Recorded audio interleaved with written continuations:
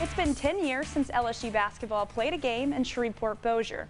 Five years since Louisiana Tech basketball played a game in Century Link. And while it looked like that wait would be over in 2020, we'll just have to wait until 2021.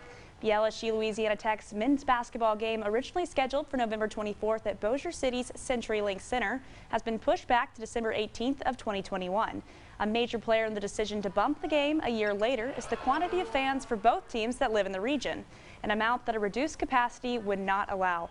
The LSU and Louisiana Tech's men's basketball programs will still play against each other this season, but that game is now scheduled for December 6th in Baton Rouge. Now in college football.